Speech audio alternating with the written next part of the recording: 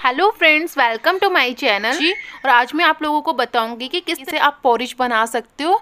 ये पोरिज आप अपने बेबी को जब वो फोर मंथ प्लस होता है एजी फ़र्स्ट फ़ूड भी आप उसे इंट्रोड्यूस कर सकते हो। ये काफ़ी हेल्थी एंड टेस्टी होता है। इसे बनाने के लिए मैं ले रही हूँ पैन अब हम इसमें ऐड करेंगे वन ग्लास वाटर वाटर को हमें अच्छे से बॉइल्ड होने देना है। उसके बाद में हमें राइस सैरल ऐड करना है इसमें। अब देख रहे हो वाटर बॉइल्ड हो चुका है। अब मैं यहाँ पर ऐड कर रही हूँ टू स्पून राइस सैरल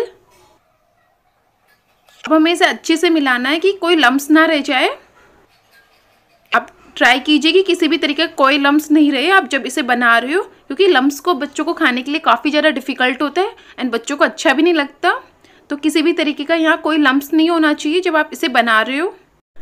हमें इसे फाइव मिनट तक मीडियम फ्लेम पे कुक करना है। जैसे जैसे ये कुक होता जाएगा इसकी कंसिस्टेंसी थिक होती जाएगी।